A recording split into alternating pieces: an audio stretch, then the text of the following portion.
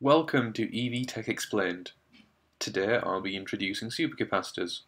Supercapacitors are energy storage devices capable of delivering power at much higher rates than batteries and have been recently used in Toyota's TS040 Le Mans car in the energy recovery system.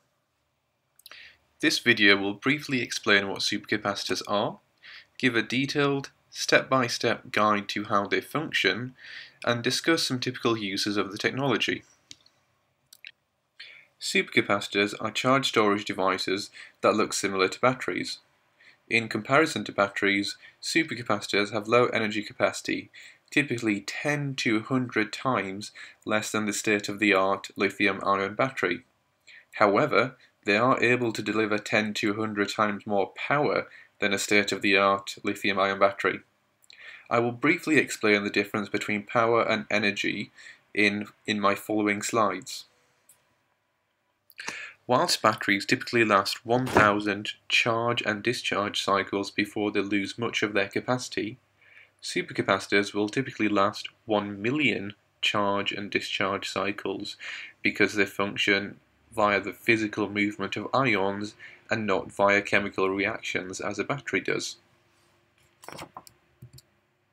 To help understand the difference between power and energy, let's use an analogy of a bucket of water with a hole in it. Water can only leave the bucket via the hole. The rate at which water can flow out of the bucket is analogous to the power. The amount of water that can be held within the bucket is analogous to the energy capacity.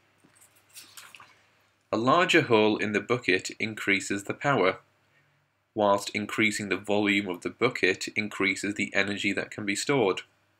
Therefore, by this analogy, a supercapacitor is a small bucket with a big hole, whereas a battery is a big bucket with a small hole. Before explaining how supercapacitors function, it is necessary to introduce its internal components. A cross-section of a supercapacitor is seen in the image on the left, and on the right-hand side is an illustration of a simplified structure. The cell contains two identical carbon electrodes held apart by a paper-based separator and the electrodes are both connected to aluminium current collectors. This simplified structure is redrawn in this schematic, as well as the positive and negative ions from the liquid electrolyte.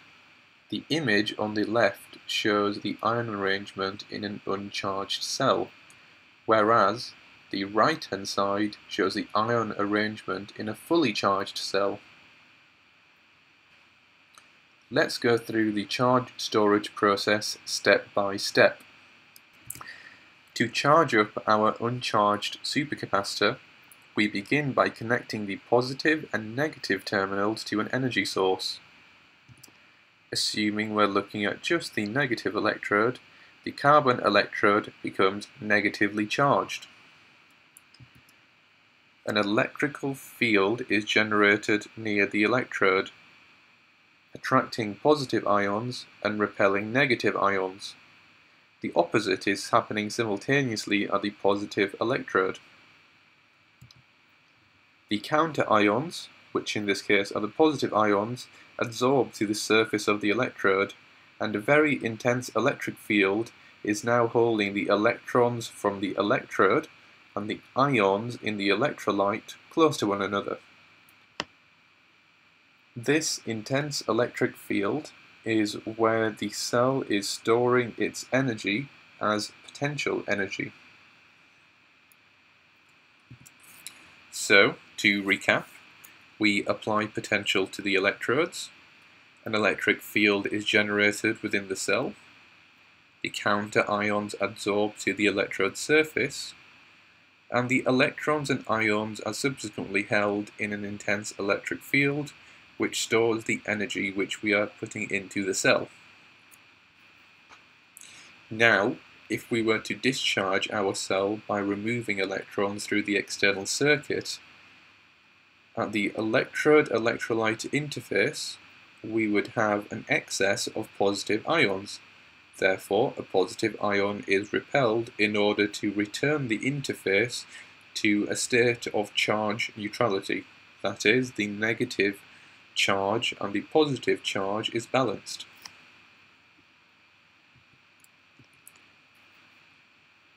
Supercapacitors are not a substitute for batteries. Their characteristics make them suitable for different applications. So, which applications are suitable? Applications requiring high power with moderate to low energy requirements, such as cranes and elevators, are very suitable. They can also be used as voltage support of high energy devices, such as fuel cells and batteries. In fact, Honda used a bank of ultracapacitors in the Honda FCX fuel cell vehicle to protect the fuel cell from rapid voltage fluctuations. Furthermore, because supercapacitors are very reliable, they are typically used in applications that are described as maintenance-free, such as space travel and wind turbines. They are also extensively used in smartphones to power the camera flash and for uninterruptible power supplies as a power backup. Mazda also uses them to capture waste energy in their i-ELOOP energy recovery system as used on the Mazda 6 and on the Mazda 3. If you'd like a detailed explanation of the way the i-ELOOP system functions, or any other EV tech, please leave a comment and I will do my best to create a video on that topic.